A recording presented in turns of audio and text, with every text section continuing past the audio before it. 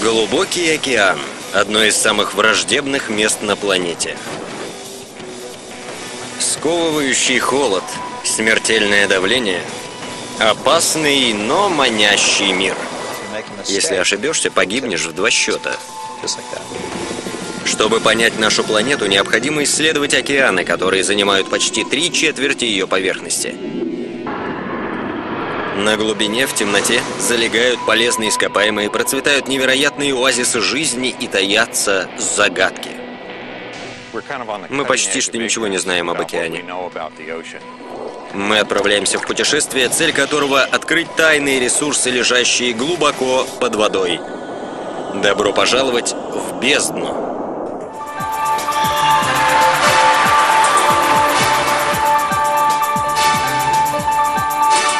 Точки зрения науки, дело о планете Земля. Морская бездна. Последний рубеж.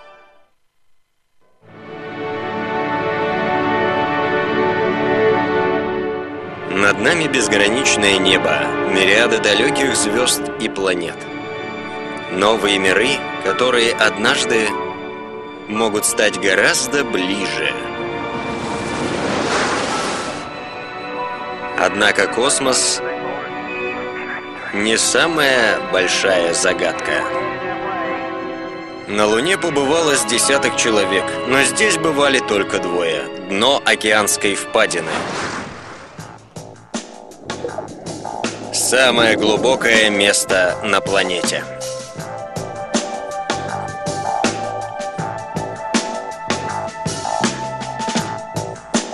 Мы присоединяемся к двум бесстрашным покорителям океана, отправляющимся в эпическое путешествие. Путешествие к самому глубокому месту мирового океана, через все океанические слои.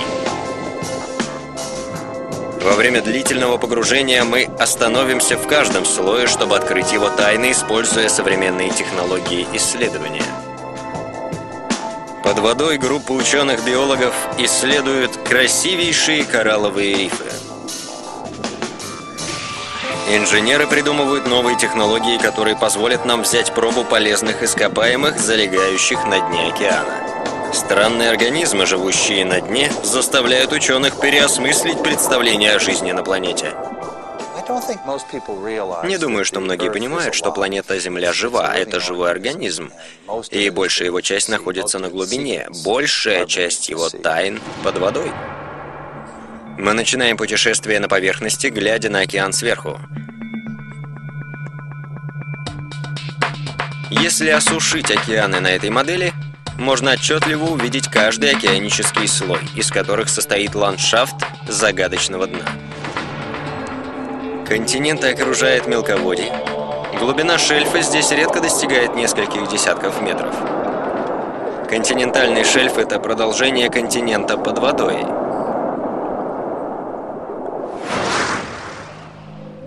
Но в среднем в 60 километрах от края континента глубина резко падает до нескольких километров. Эдакие глубоководные равнины. Эти равнины находятся в среднем на глубине 4 километра. Они составляют большую часть планеты, занимая примерно половину океанического дна.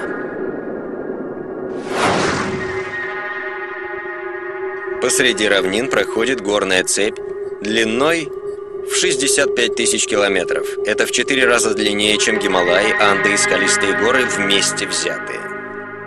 Наша конечная цель находится под этими горами. Самое глубокое место на планете. Марианская впадина. Эта впадина почти 70 километров в длину и почти 11 километров в глубину. Она достаточно большая, чтобы поглотить гору Эверест целиком. Для Боба Болларда, нашедшего «Титаник» глубокий океан, самый большой вызов для ученых-исследователей. Погружение связано с риском. Мы дышим воздухом, привыкли ходить по земле, любим солнце. Но тут попадаем в абсолютно другой мир. Гораздо более необычную среду, чем, скажем, на Марсе или на Луне. 50 лет назад двое мужчин приготовились отправиться в этот незнакомый мир. который ни до них, ни после не видел ни один человек.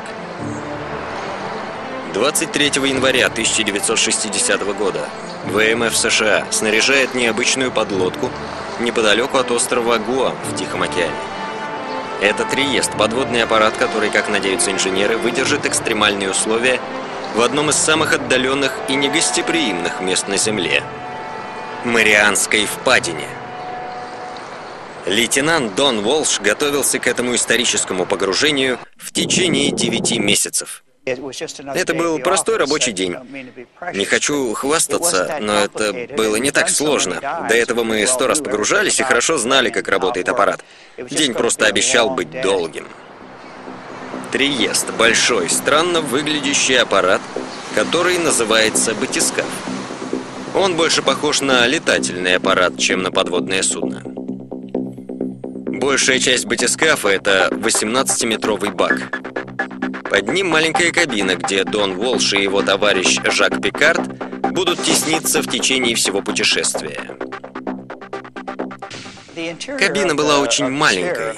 Мы вдвоем находились в пространстве по размерам сравнимом с большим холодильником.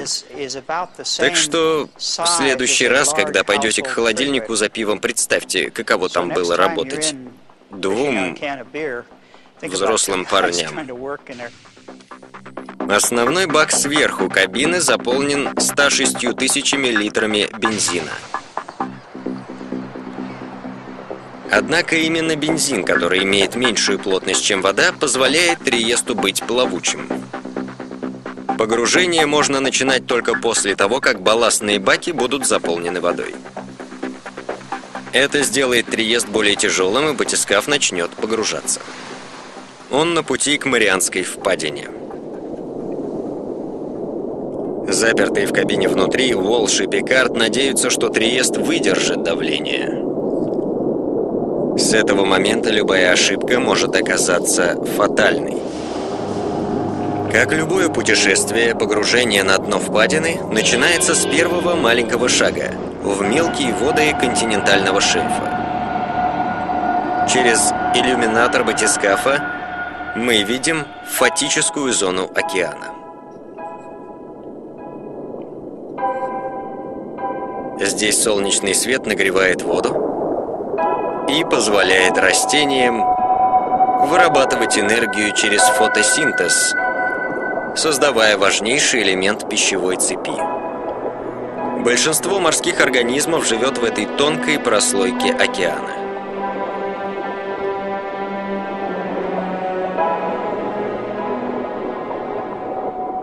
Когда начинаешь погружение, оказываешься в освещенных слоях океана, где вокруг тебя плавают красивые рыбы и акулы. На глубине 20 метров мы уже далеко от нашей привычной среды обитания твердой земли. Акваланги позволяют нам побывать в этом магическом месте, но мы можем пробыть здесь лишь недолго. Объем воздуха в баллонах ограничивает время пребывания под водой. Возвращение на поверхность сопряжено с опасностью. Последствия от перепада давления могут быть очень серьезными. Чтобы понять всю красоту этих мест, нам нужно больше, чем короткий осмотр. Нам нужно долго находиться под водой. Исследователи нашли путь, как это сделать. На глубине почти в 20 метров, где-то в 5,5 километрах от острова Кей-Ларго, архипелага Флорида-Кис, находится станция «Аквариус». Она принадлежит Национальному комитету по изучению океана и атмосферы США. Это единственная подводная лаборатория в мире. В этом контейнере из стали в течение 10 дней могут находиться 10 исследователей. Здесь они могут изучать коралловые рифы. В рифах обитают целые колонии микроорганизмов. Это настоящая сокровищница жизни. Профессор биологии Марк Хей из Института технологии штата Джорджия проводит исследования в аквариусе. Это похоже на затонувший в океане школьный автобус. Он примерно такого же размера. Здесь достаточно воздуха.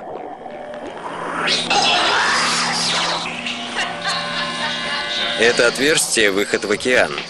Через него ученые попадают в аквариус и покидают его. Сжатый воздух внутри подводной станции не позволяет воде заливаться внутрь. И таким образом ученые могут жить и работать на глубине 20 метров. С помощью станции биологи могут находиться под водой до 9 часов, что в 9 раз больше, чем при обычном погружении. Чтобы восполнить запас воздуха, они возвращаются на станцию, вместо того, чтобы подниматься на поверхность. Благодаря телефонам, СВЧ и компьютерам станция «Аквариус» может служить ученым домом. За исключением одного очень важного удобства – На станции нельзя допускать появление дурного запаха. Так что в туалет мы ходим за пределами станции. Мы плаваем к одному из этих маленьких павильончиков, внутри которых можно дышать. Это своего рода дачные туалеты, но только под водой. Просто нужно снять гидрокостюм и сделать все необходимые процедуры. Но, к сожалению, иногда походы в туалет вызывают интерес местных обитателей.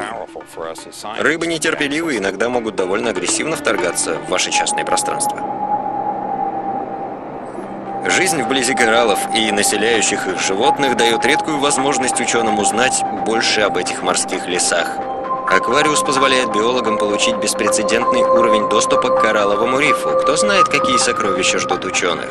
Наш конечный пункт назначения – глубже райских коралловых рифов. 99% нашего путешествия проходит глубже аквариуса. С каждым метром становится все темнее,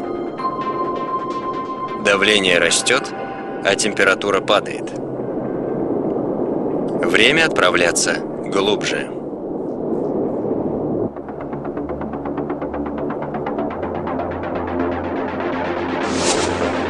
Всего лишь спустя несколько десятков метров нашего 11-километрового погружения окружающая нас среда сильно изменяется. Все меньше и меньше света попадает на такую глубину, и океан начинает менять цвет. Постепенно исчезает голубой, зелено-голубой, и появляются разные оттенки серого, а затем наступает полная темнота. Здесь, на глубине 107 метров, Триест наталкивается на невидимый барьер –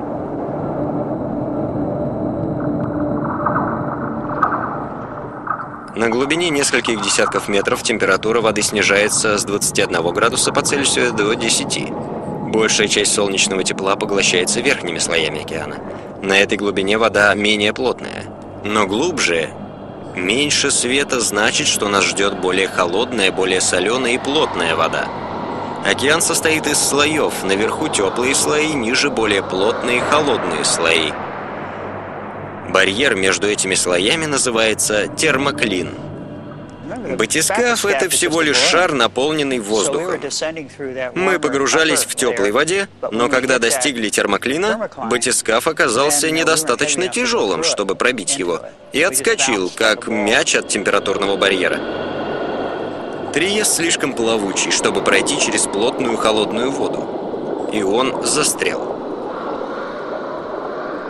Чтобы пробиться, экипаж избавляется от маловесящего бензина. Став менее плавучим, Триест пробивает барьер и погружается дальше, на пути к Марианской впадине. Мы на глубине в 200 метров. И это больше, чем высота монумента Вашингтона. Мы входим в мир сумрака, который называется мезопелагической зоной. Едва ли 1% солнечного света достигает этой глубины. Температура падает ниже 5 градусов по Цельсию.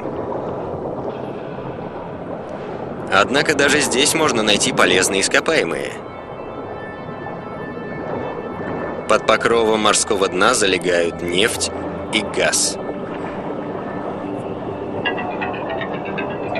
Чтобы обеспечить добычу этих ресурсов, некоторые аквалангисты погружаются на глубину свыше 300 метров. Однако давление на такой глубине такое высокое, что погружение превращается в очень сложную и опасную процедуру. Нам необходим технологический прорыв, чтобы преодолеть ограничения традиционных методов погружения. Прорыв, который надеется совершить изобретатель Фил Ньютон – Годы профессионального дайвинга научили Ньютона выдерживать огромное давление, которое способно убить человека. Если работаешь в океане, начинаешь преклоняться перед его безжалостностью, мощью, и понимаешь, какие мы хрупкие и ничтожные.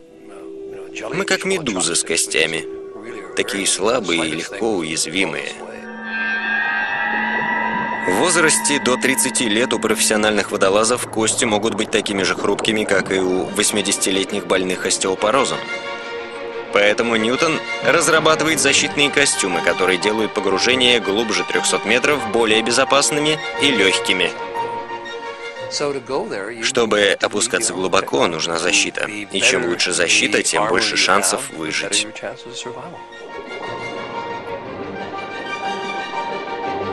Костюм Тритон. Это все равно, что подводная лодка, которую можно надеть. Твердая алюминиевая оболочка защищает водолаза и поддерживает атмосферное давление внутри костюма. Самая последняя модель – это экзокостюм. Он снабжен широкоугольным обзорным иллюминатором и может содержать воздуха достаточно, чтобы дышать 48 часов. Костюм сделан из металла толщиной 6,3 мм, который выдерживает высокое давление. Он также довольно гибкий. Когда узкая часть этого кольца внизу, рука сгибается. Это из-за того, что эти два кольца сближаются. А когда они расходятся, рука снова выпрямляется. За счет этого происходит сгибательно-разгибательное движение. 20 таких суставов дают водолазу почти полную свободу движения. Добравшись до места назначения, водолазы должны быть способны работать. И для этого им нужны руки. Ньютон создал роботизированные руки с захватывающими поворотными пальцами. Большой палец поворачивается. Такое движение пальца очень важно и доступно только некоторым приматам, у остальных животных этого нет. И это позволяет нам использовать все остальные пальцы для захвата. Его механическая рука делает то же самое. Он может хватать, держать и перемещать объекты с удивительной ловкостью. С его помощью можно поднять карандаш, расписаться, поднять мяч, бросить его о стену и поймать вновь и так далее. И все это благодаря большому пальцу и возможности захватывать объекты. Вот так.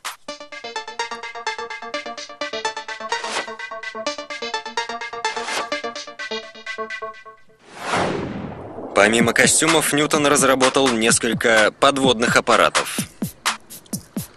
Но они работают только на глубине менее километра. Дальше давление слишком велико, чтобы они могли работать безопасно.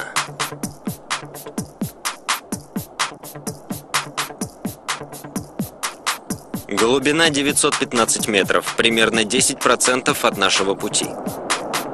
Внизу лежит мир, лишенный солнечного света, где властвуют темные океанические скалы.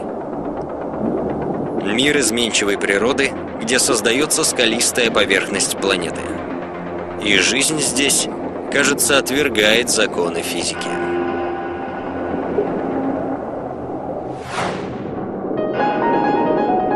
Первые несколько десятков метров Мирового океана полны солнечного света, растений и животных. Но по мере того, как мы погружаемся вглубь, мы попадаем на незнакомую территорию, где обитают странные существа. На глубине трех тысяч метров мы попадаем на глубоководные равнины. Они составляют почти половину океанического дна, и большая их часть совершенно лишена каких-то особых черт. Но посреди равнин находится нечто невероятное – Настолько необычное, что меняет наше восприятие океана, геологии и даже жизни в целом.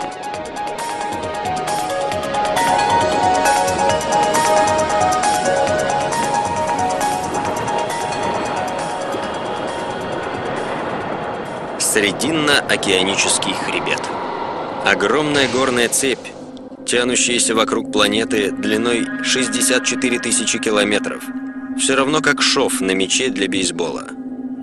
Это самая большая и самая вулканически активная горная цепь на планете. Боб Баллард – один из немногих, кто видел ее вблизи собственными глазами. Я называю ее колыбелью Земли, так как здесь берет начало ее внешняя оболочка. Еще 40 лет назад Срединно-океанический хребет был большой геологической загадкой. Как возник этот хребет на дне океана? Согласно теории тектонического движения плит, земная кора состоит из нескольких стыкующихся плит. Когда две плиты сталкиваются, образуются горные хребты. Но на дне океана плиты не сталкиваются, а расходятся. Такие горные хребты, как Гималай или Анды, созданы в результате схождения плит, и можно представить, как это происходит. Две плиты сталкиваются, деформируются, и возникают горы. Но как возникла океаническая горная цепь? Как могут возникнуть горы, если плиты расходятся? В этом нет смысла. В 1960-х годах геологи пришли к объяснению. Срединно-океанический хребет – это огромный пузырь. Расплавленная порода поднимается из мантии между плитами и формирует эти горы. Магма остывает и затвердевает, формируя горную цепь в сотни метров в высоту. Это правдоподобная теория, но возникают проблемы во время ее проверки. Вода, окружающая океанский хребет, должна быть теплой, подогреваясь магмой, вырывающейся наружу из мантии. Однако температура вдоль хребта оказалась ниже, чем ожидали ученые. А если нет тепла, это может значить, что нет и магмы. И нет объяснения происхождения хребта. В 1977 году Боб Боллард возглавил экспедицию, целью которой было найти ответ. Много зависело от результатов экспедиции. Подтверждение наличия тепла подкрепило бы теорию вырывающейся магмы. Так что Боллард использовал самые современные технологии 70-х годов. Прибор называется «Ангус» — эхолокационная геологическая подводная исследовательская система. А по сути представляет собой крупный прибор на веревке. Тяжелая клетка Ангуса защищает датчик тепла. Этот датчик посылает показания температуры на командный мостик корабля. Ангус также оснащен фотокамерой, чтобы запечатлеть океаническое дно. Мы не могли видеть фотографии до поднятия Ангуса назад, то есть спустя многие часы после съемки. Но у нас с ним была одна связь — это показание температуры. Кривая температуры была прямая, ровная, и вдруг как взлетит, мы поняли, что датчик попал в горячую воду и записали время скачка. Является ли это свидетельством наличия тепла, которое искали ученые? Они вытаскивают Ангус назад на корабль. Боллард и его команда аккуратно сверяют данные датчика с фотографиями. И результат сногсшибательный. На фотографиях отверстие, из которого вырывается горячая вода. Как раз в тот момент, когда Боллард зафиксировал увеличение температуры. Наконец, гипотеза о том, что магма создала океанский хребет, подтверждается. И то, что тепло выходит из отверстий каналов, объясняет, почему в других местах горной цепи температура ниже. Но фотографии показывают кое-что еще. То, чего никто не ожидал. Там, где холодная вода, фотографии показывают черную лаву. Но в горячих местах все меняется. На каждой фотографии, сделанной с интервалом 12 секунд, одна лава. Но затем, когда мы приблизились к магическому моменту, вода стала мутнее, а потом моллюски, сотни моллюсков, больших, на дне океана. В это сложно поверить. Жизнь не должна существовать в этих темных водах без света. Чтобы получше все рассмотреть, Боллард возвращается к Срединно-океаническому хребту в специально созданном исследовательском подводном аппарате. Нам говорили в учебниках, что солнечный свет не может достичь океанского хребта. А значит, не может быть фотосинтеза, не может быть растений, а без них и жизни. Но все оказалось не совсем так. Боллард и его команда взяли пробу и связались с биологами на берегу.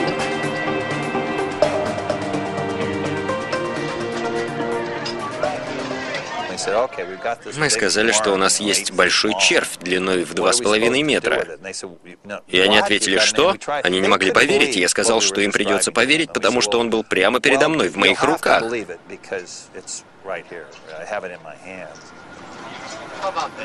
Сообщение Болларда поразило биологов. Они попросили его сохранить находку. Они сказали, чтобы мы положили его в формальдегид, а мы ведь не биологи, у нас нет его формальдегида. Они тогда спросили, есть ли у нас водка. Мы им сказали, что они посягают на наши запасы. Вы ведь понимаете, когда мы надолго в море, берем с собой немного спиртного. А тут нам пришлось эти существа опускать в наше спиртное. Экспедиция Болларда разрешила одну геологическую тайну, но встретилась с биологической загадкой, Находка опровергает предыдущее предположение, что без света не может быть жизни.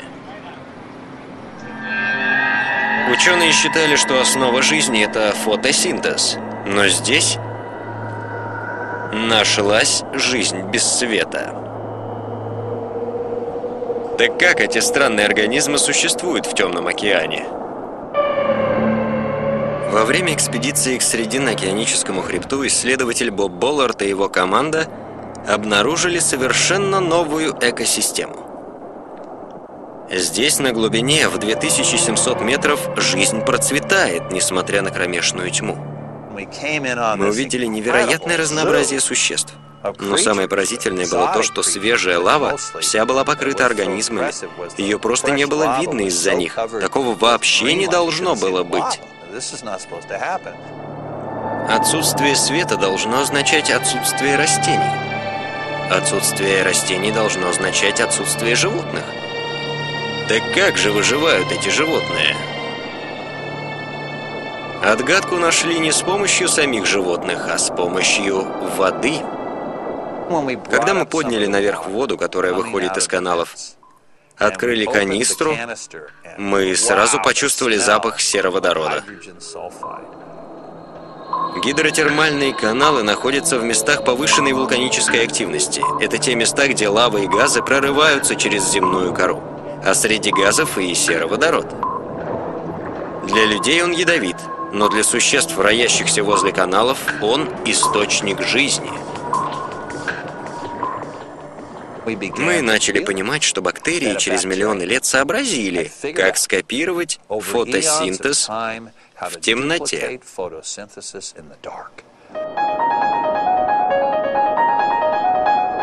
Одноклеточные бактерии смешивают сероводород с кислородом, чтобы производить энергию.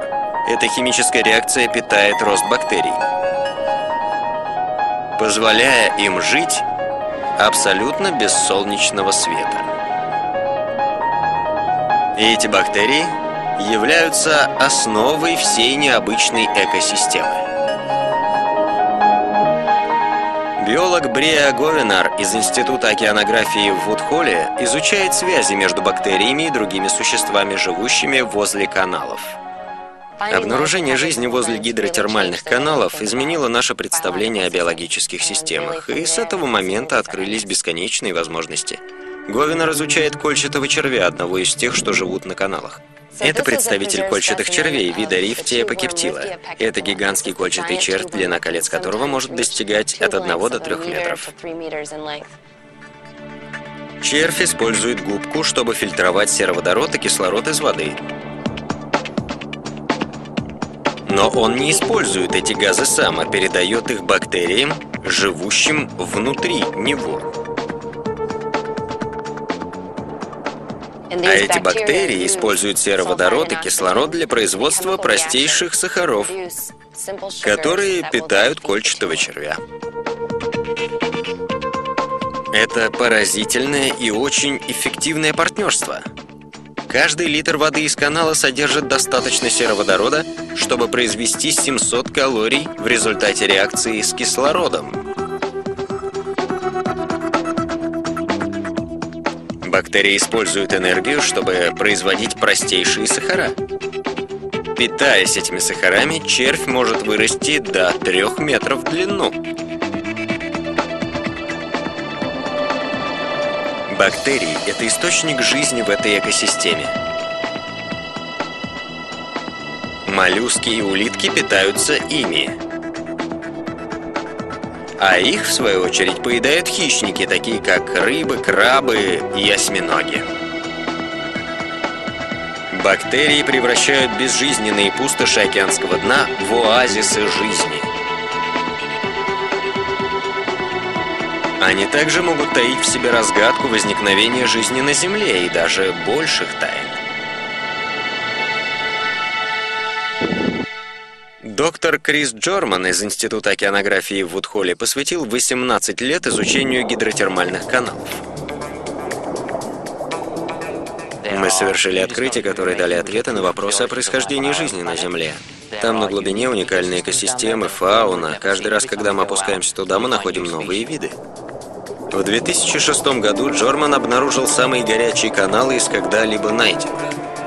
Эти каналы извергают токсичную кислоту, температура которой достигает 370 градусов по Цельсию.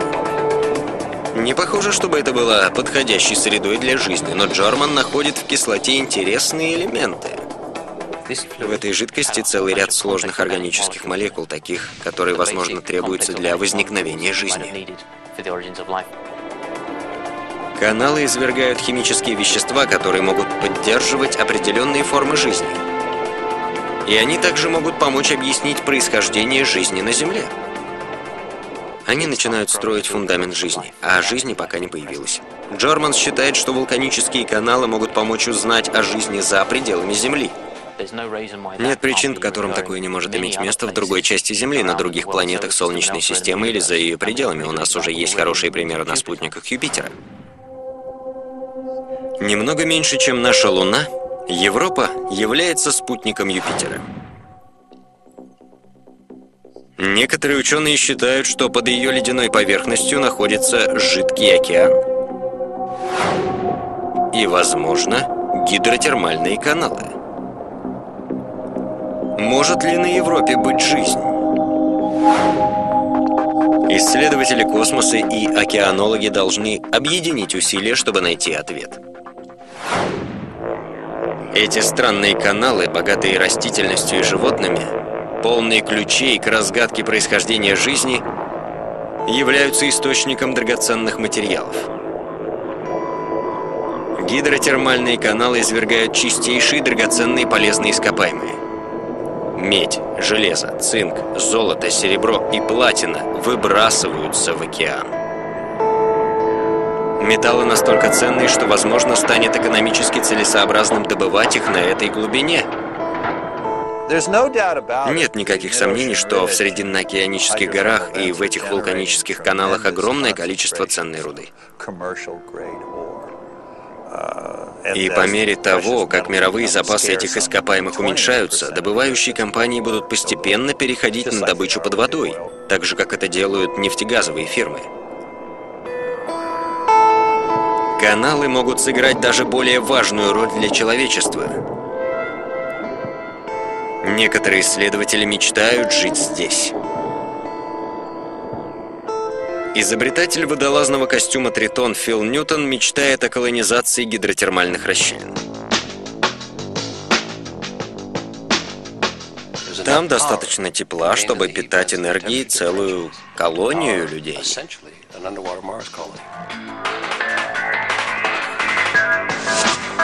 Это видение совершенно нового мира. Колонии два с половиной километра под водой. В одной из самых враждебных сред на планете. Но даже здесь, в одной из самых агрессивных сред на планете, мы все еще в 8 километрах от пункта назначения. Мы переходим в самое загадочное место на Земле. Глубочайшую часть океана. Мы в мире бесконечной темноты, где выживают только по-настоящему странные организмы. На борту Триеста Дон Волш погружается сквозь эти жуткие темные воды.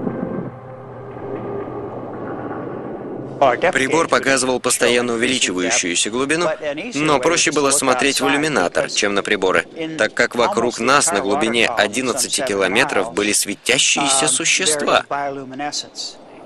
Мы смотрели на эти существа, которые перемещались за бортом примерно с нашей же скоростью.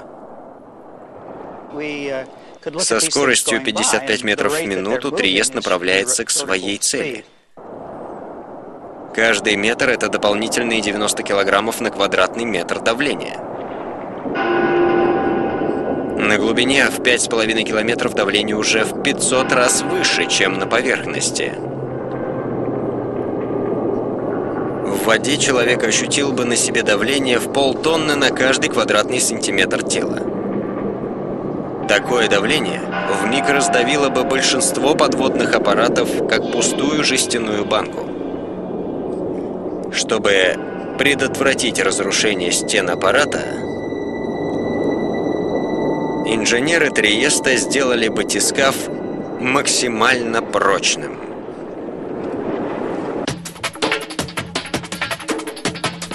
Стальная конструкция батискафа имеет форму сферы, за счет чего давление распределяется равномерно.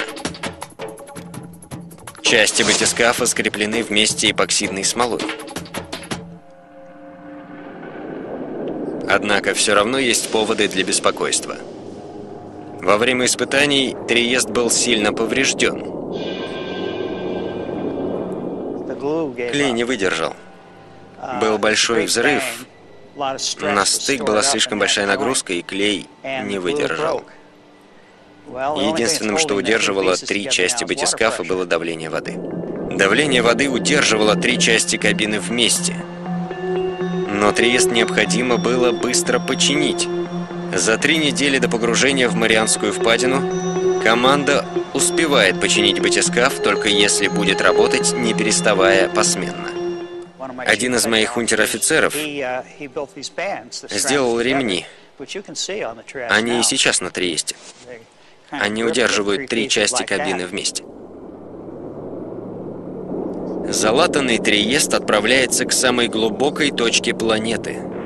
И это самое серьезное испытание для него. Батискаф приблизился к отметке в 6 километров. Ремни в порядке. Триест продолжает движение. Волш и Пикард опускаются в неизвестность, в океанскую впадину. Так же, как океанические хребты создают земную кору, впадины разрушают ее.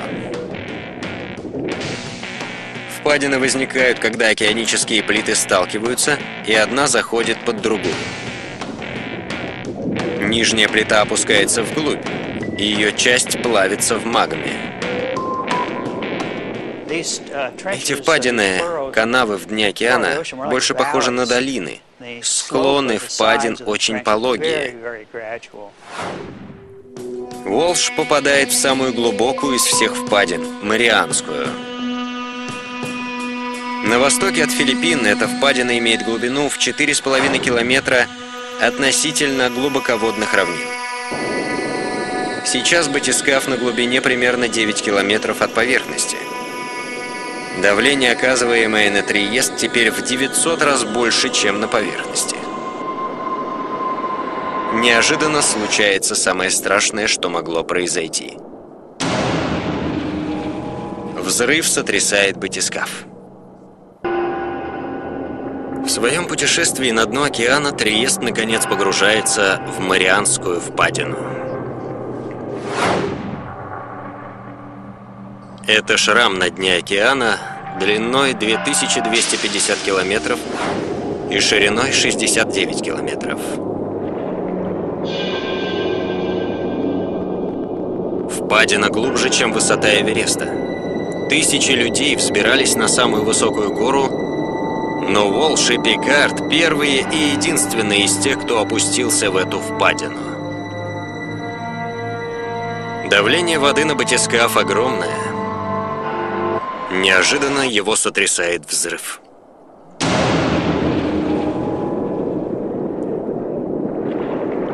Взрыв здорово напугал Волша и Пикарда. Если бы батискаф дал течь, мы бы даже не узнали об этом. Все бы закончилось в два счета. Там давление 800 килограммов на квадратный сантиметр. Нас бы не стало мгновенно. Но мы все еще были живы. Трещину дало самое слабое звено Триеста – внешний иллюминатор. Внешний иллюминатор сделан из акрилового пластика, а не из стекла. Люди обычно считают, что это что-то мягкое и непрочное, однако все наоборот. Это потому, что акрил имеет удивительные свойства. Под высоким давлением он начинает вести себя как густая жидкость. Он начинает деформироваться. Во время глубоких погружений, в принципе, во время всех погружений, но особенно это заметно на больших глубинах, иллюминатор начинает немного вгибаться внутрь кабины. Миллиметра на два, на три, немного. Такое свойство иллюминатора позволяет ему выдерживать огромное давление и не лопаться. Но на глубине 9600 метров даже этого недостаточно, чтобы противостоять высочайшему давлению, и один из иллюминаторов лопнул. Внутренняя часть остается водонепроницаемой, позволяя Триесту продолжать погружение ко дну впадины.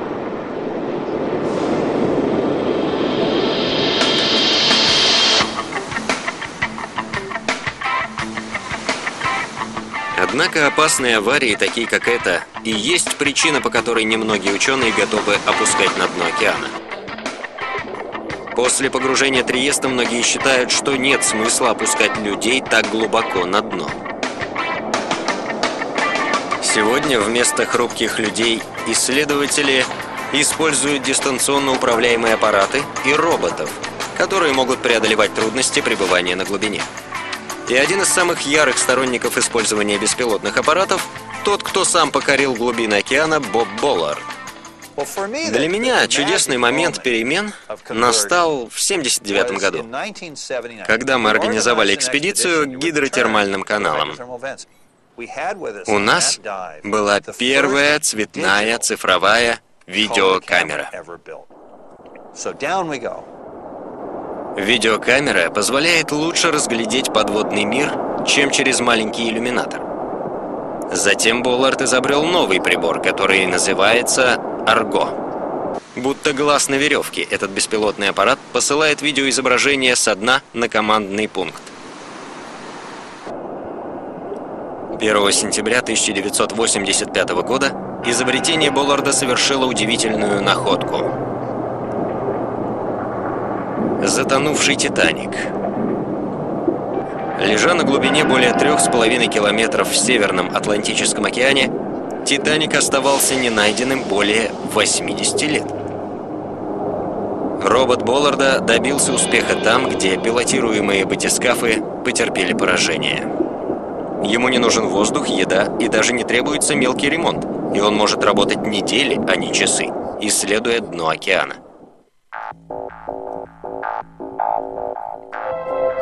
Сегодня ученые строят новое поколение морских роботов. Они могут погружаться глубже, чем раньше, и они все меньше зависят от человека. Некоторых роботов даже программируют на то, чтобы думать, принимать решения и реагировать на то, что они находят. Но не все убеждены, что они полностью заменят человека. Люди слишком оптимистично относятся к роботам, потому что по телевизору показывают, как они прыгают, выигрывают в шахматы. Но на самом деле они глупы, когда возникает непредвиденное. В этом и состоит преимущество человека, потому что никогда не знаешь, с чем придется столкнуться. Роботы отлично работают по программе. Роботы могут оказаться нашим будущим, но десятки лет назад на Триесте они даже не рассматривались. Команда исследователей положилась полностью на хрупких людей, доверив им пилотировать батискаф и делать научные наблюдения. Крепкий батискаф смог защитить их от страшных опасностей, которые таит в себе глубина. Спустя 4 часа 45 минут батискаф опустился на самое дно океана, в самое глубокое место на планете. Экипаж замедлил ход, и Триест дотронулся до дна на глубине 10 920 метров.